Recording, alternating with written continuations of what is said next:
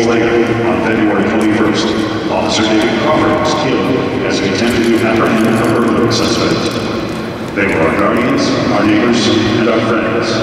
They made the ultimate sacrifice for all who are here tonight and thousands of others.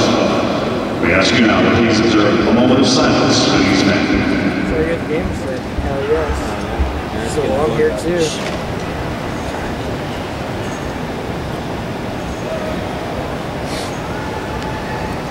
Thank you. At this time, we welcome Tampa Bay's